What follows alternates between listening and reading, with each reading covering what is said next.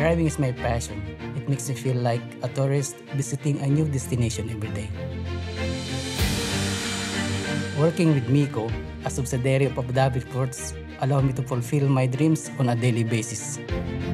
When I joined MICCO in 2019, we had around 300 trucks and 1,000 employees. In a span of just a year, the fleet's now more than 500 trucks and over 1,500 employees.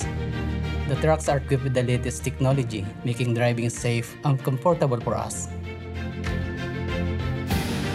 As part of Abu Dhabi ports, we adhere to the highest safety policies. It's mandatory to attend daily HSE briefings and wear PPE before we get into our daily task. We're given special instruction on how to handle the delivery and pick up of our clients' goods.